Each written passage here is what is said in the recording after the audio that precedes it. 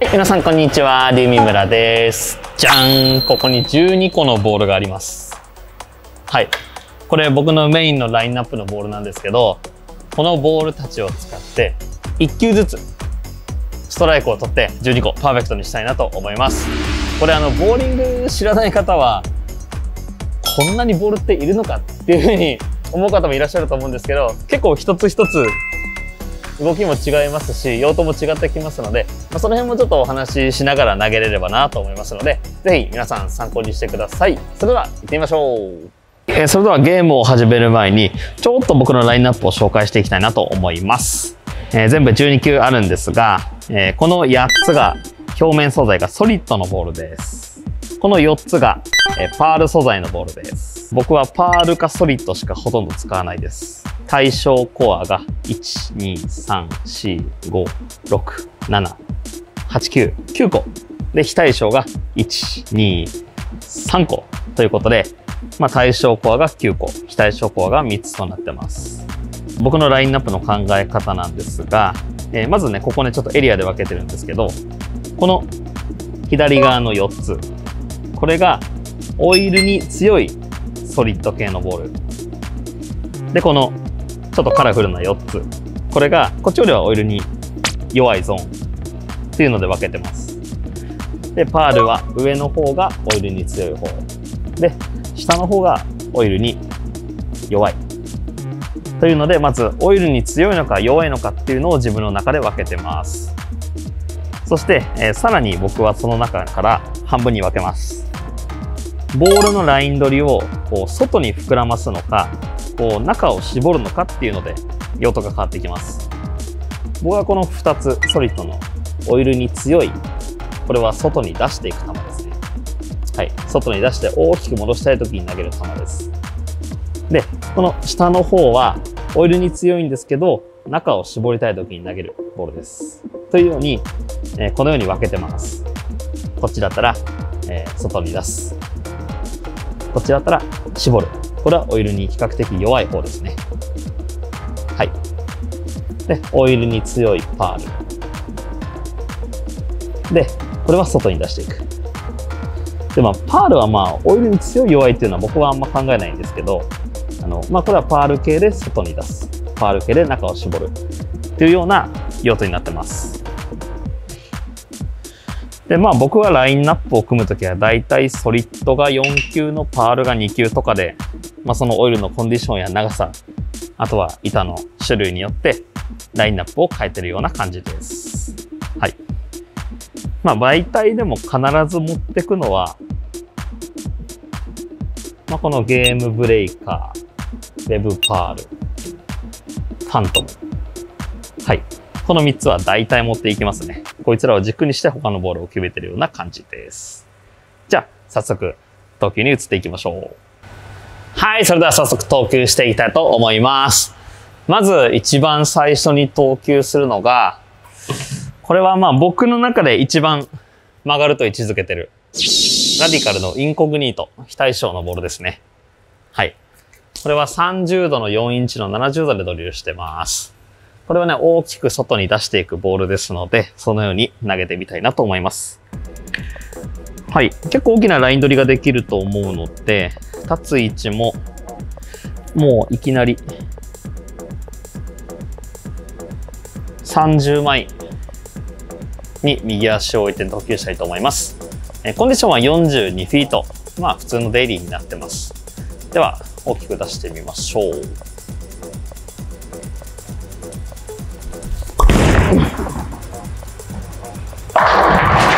はい、一発だ。いい感じですね。あれはオイルがあるときに、もう絶対的に僕は信頼してるボールですね。ただ、そんなにね、めったに出ないんですけどね。はい。ほら、フレアも結構ね、たくさんついてますね。いっぱいついてます。はい。ということで、こいつは OK。じゃあ次は、同じ大きく外に出すボールなんですが、はい。アルティマブラックです。はい。これもレイアウトは同じです。30の4の7中です。これは対象コアなので、さっきのインコグニートほどは戻らないと思います。右に3枚ずれて投球したいなと思いますじゃあ行ってみましょう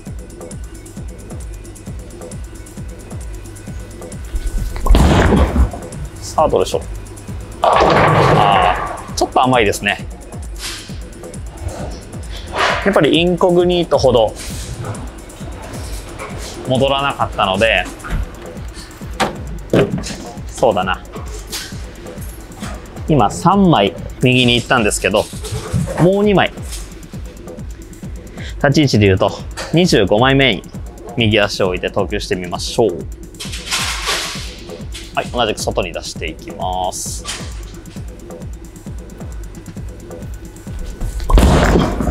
さあどうでしょう。はいバッチリですね。うん。あれもオイルがある時にすごく重宝するんですけどこのインコグニートからボールチェンジする時にすごく役立ちますね。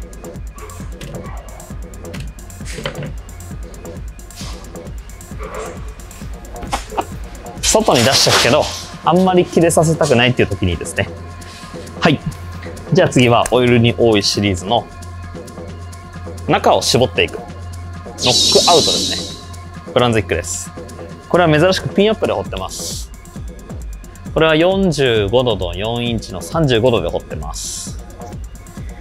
これはオイルにはまあそこそこ強いんですけど結構動き幅も大きいのででえー、っと25枚目に立ってちょっと中を絞り目に投げてみましょう。多分手前の行き足がピンアップでもいいと思います。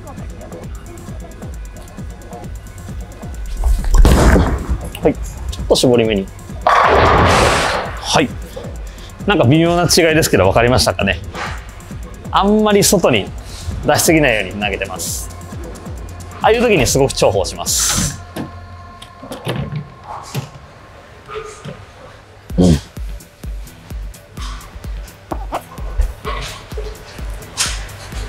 はい。そしてオイルに強いボールの中でこれね僕ね大好きなボールなんですけどヴィンテージファントム。ちょっと古いボールなんですけどこれねめちゃくちゃいいボールなんですよ。コアの数値が低めなんですよ。あのディファレンシャル。キレの強さがね。なので後半にすごく役立ちます。でこいつはかなりやっぱりコアが弱いせいか結構奥まで行ってくれる。そしてよくそんなに奥も切れないので20枚目ぐらいでいいかな。20枚目に立ってちょっと絞るようにしてみましょう。あんまり出しすぎないように。こんな感じでどうです。かはい。バッチリですね。まあ絞るっつっても結構外には出てくるんですけどね。はい。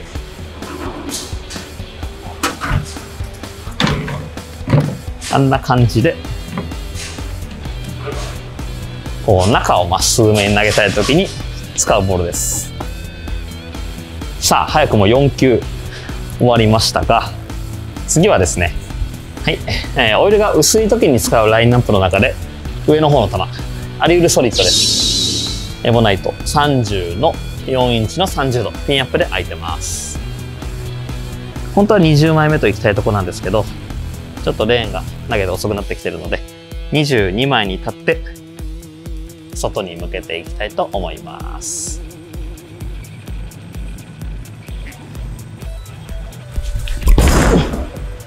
さあどうでしょう。はいいいですね。バッチリです。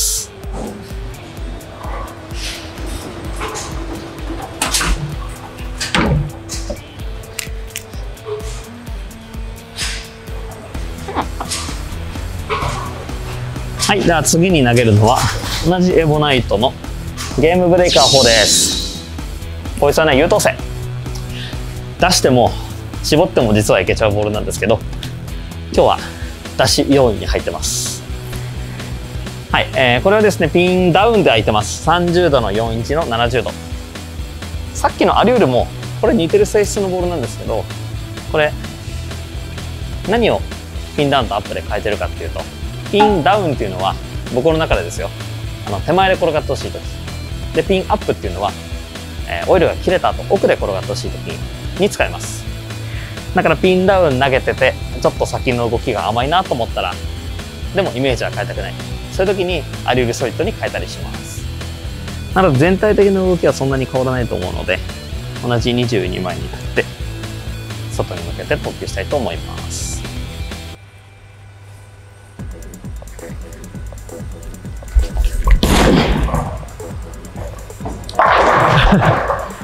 ちょっと今あのめちゃめちゃ指抜けが悪かったですね。吹っ飛んでいきました。ちょっと今の話もう一回やります。でもやっぱり結構手前で動いてる感じは僕の中ですごいします。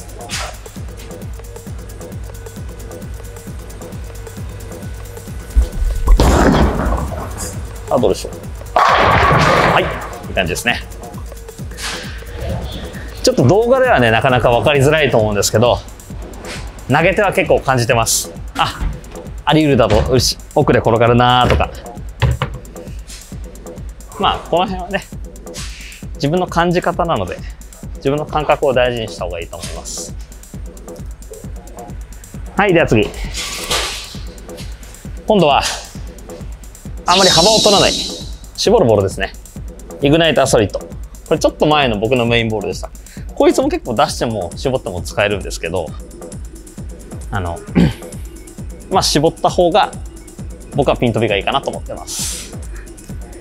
ではカバーの強さはでもゲームブレーカーとそんなに変わらないので同じぐらいのところに立ってあまり幅を取らずに投げたいと思います。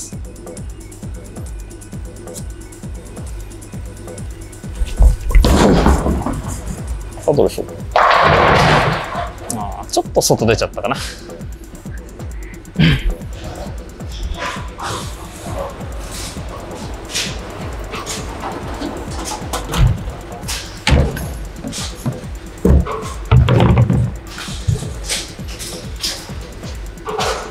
もう少し絞って投げましょうか。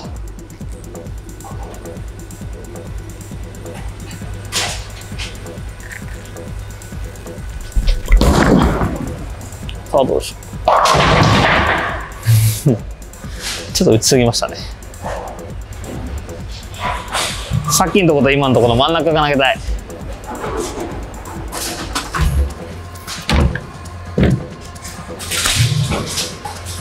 ということで、ちょっとレンが遅くなってるので、1枚左に置いて23枚に立ちます。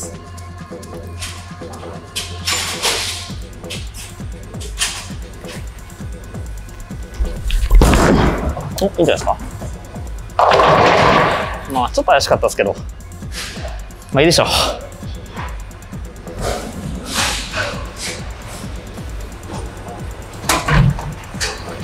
イグナイターソリッド。さて、やっと、今、半分ですね。7球か。半分を越しました。はい、じゃあ次、レーンも遅くなってきたから、この辺はすごく扱いやすいと思います。唯一のストーム IQ です。IQ2 エディション。かなりね、古いボールなんですけど、でもこれあの、ディファレンシャルがすごい低くて、かなり扱いやすいです。でさっきの Vintage Phantom とどう違うのっていうと、これは弱いソリッドなんですよ。なので、さらにタイトなライン取りができると思います。なので、こいつもちゃんと走ると思うので、18枚。18枚に立って絞ってみましょう。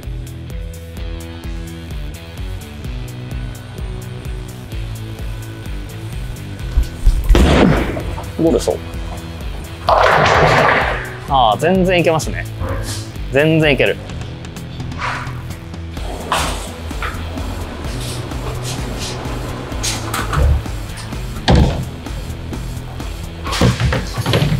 っぱストーム系とブランジック系の違いですね。ストームはやっぱ行き足がすごくいいですね。で、先のリアクションが。まあ今ちょっと行き過ぎちゃいましたけど、かなり出ようとしてますね。あちなみにイグナイターのさっきのレイアウトは30度の4インチの70度。この IQ も同じです。30度の4インチの70度です。基本的に僕はこのピンダウンばっかですね。もう1枚右。17枚に立ちましょ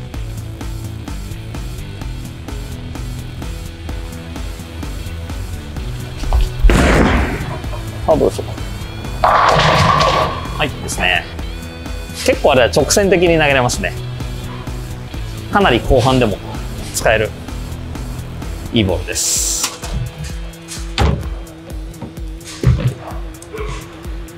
ということで、ストリットのボールが終わりました。さて、次はパールに移っていきましょう。パールの一番幅を取るボールは僕はこれです。ブラックウィード、サベージ。非対称なんですけど、これね、すっごく幅取って投げれます。ブラック移動って言うと奥かなり切れるイメージなんですけど、これはやっぱりね、まあ投げ込んだり表面を変えたりして分かったんですけど、かなりね、こう、奥で寄ってくる動きをするんですよね。なので僕はすごい好みです。あー、ファール。ファールだけど、カバーは、これ、ね、ハンマーの中でも一番強いので、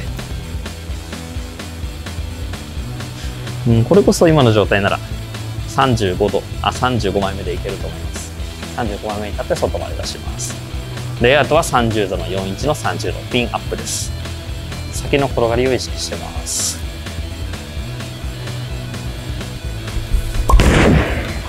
さあ、どうでしょう？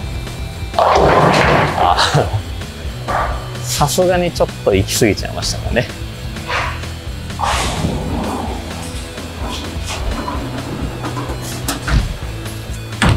2番、10番。はい、じゃあ、3枚戻りましょう。27枚目に立って、ここまで出します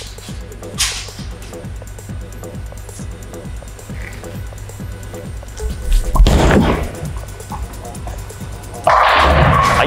バッチリですね。で、遅くなってきてるんですけど、出してもちゃんとピンアクション出ますね。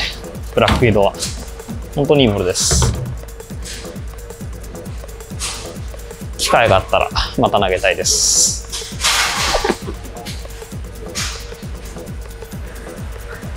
はい、では次に対象コアのパールです。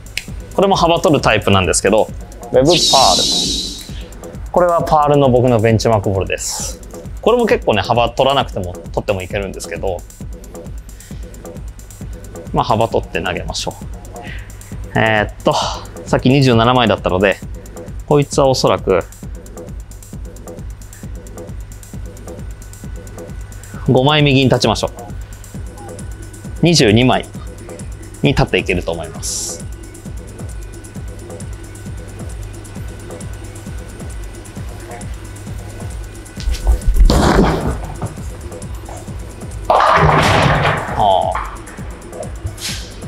もうちょっといくかなと思ったんですけどね。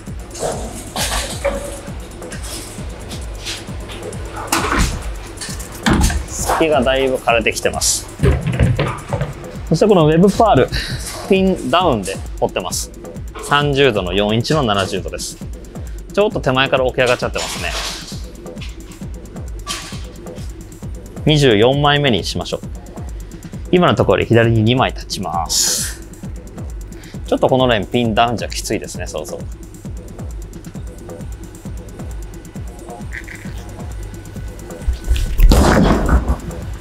さあ、どうでしょう。ああ、これだと甘いのか。うん。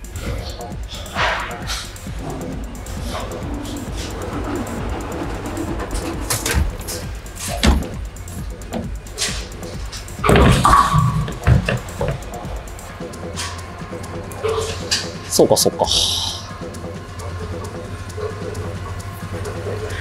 立ち位置は同じ。24枚で。ちょっと横のローリングを強めましょう。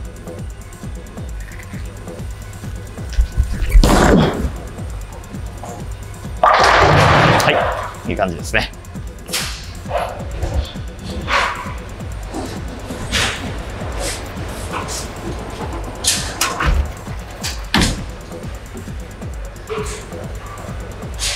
さあ残すもあと2球。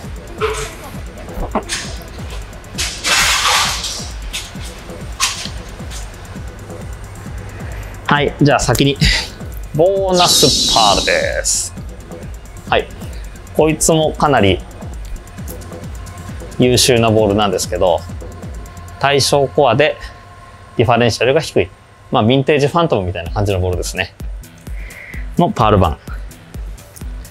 これロングコンディションで中絞ってもいいですし、あの、外がこう、オイルが少なくて、こう跳ね返っちゃうレーンでもかなりいいんですよ。手前走って奥はそんなに切れないので。こいつならね、多分、さっき IQ が17枚だったでしょ？ちょっと同じとこ投げてみましょうか。17枚。まあ、パールで走った分奥も切れると思うんですけどね。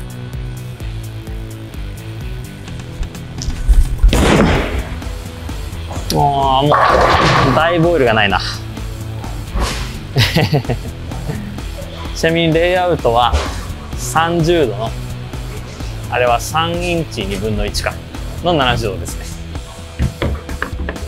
さすがに厳かったです。ということで20枚目に立ちましょう。これなら間違いないですね。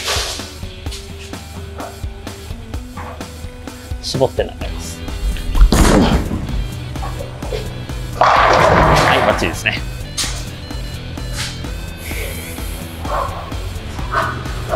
僕は結構絞る時はこう指を広げて縦目に投げます。幅を取る時は指を閉じて横回転を多く入れます。はいでは最後12投目投球するのがスーパーオブセッションです。これ僕のお気に入りのボールなんですが前紹介した時とレイアウトが変わってます。60度の5インチの0度になってます。はい僕5インチってなかなかやらないんですけどそして0度。はい。ハイピンアップっていうレイアウトになってます。ピンがここで、グリップがここにあります。はい。これはとにかくスキットを出したいレイアウトで、本当に後半戦絞るとき、すごく使えます、このレイアウト。で、えー、カバーの強いボールでやっぱり作ってるので、さすがに、こう、右側に入りすぎちゃうと切れちゃいます。なので、結構中から投球します。27枚。27枚目に立って絞って投げてみます。幅をあまり取らないようになります。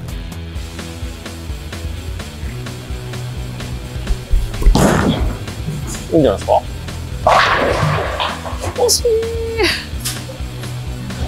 い。でもあんな感じで使えます。こういうねライン取りをするときめちゃくちゃいいボールなんですよ。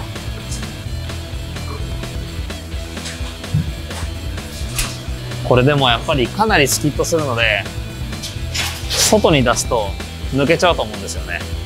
ちょっと試しに同じとこだって外投げてみましょうか。外に向かって。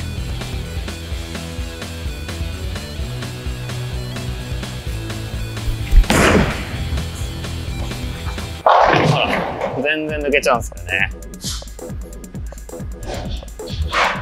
帰ってくる気がしないです。なので、こういうふうに、枯れてる、外が枯れてる状態で、中を絞るとき、限定ですね。ちょっとまだ早いかもしれないです、このボールが登場するの。でも、これでいきたいと思います。27枚に立って、もう少し優しく投げたいと思います。絞ります。さあどうでしょう？やったー！パーフェクトです。ああ長かったはあ白です。はいお疲れ様でした。なんとかボール12個使ってパーフェクト達成することができました。ありがとうございます。ということでなんでこんなにボールをいっぱい持ってるのかっていうのが少しは分かっていただけたかなと思います。まあもちろんね、1個のボールで楽しむのもすごくいいと思うんですけど、このように場面を想定してこう考えてレイアウトをしたりとか、ボールを選んだりすることによって、コンディションっていうのは攻略しやすくなります。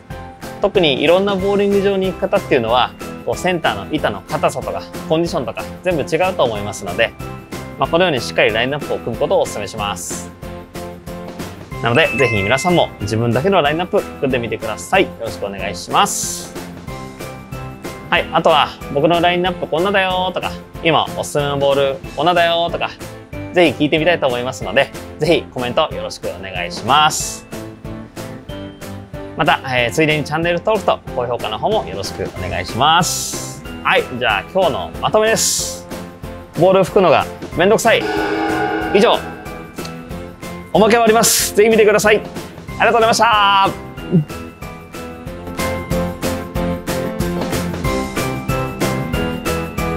はい、最後、おまけです。一番最初に、この非対称の一番僕の中で強いインコグニトっていうボールを投球しました。35枚目にから外に向かって投球してジャストだったんですが、今のオイルの状態どうなってるか検証したいと思います。意外といくんじゃない？さあどうでしょう？あ 結構やっぱ切れちゃいますねということでやっぱりこう1ゲーム投げただけでもこんなに変化しますなのでまあオイルの状態っていうのは刻一刻と変化してるのでそのオイルの状態に合わせて一番いいボールをチョイスできるっていう技術も今は必要ですねということで、僕なんかこういうボール持ってたりします。めったに出さないですけど、リザルトプラス70度の3インチ、2分の1の20度で掘ってます。これはもうアウトサイド。外を投げるときだけのためのボールですね。はい、本当に大外です。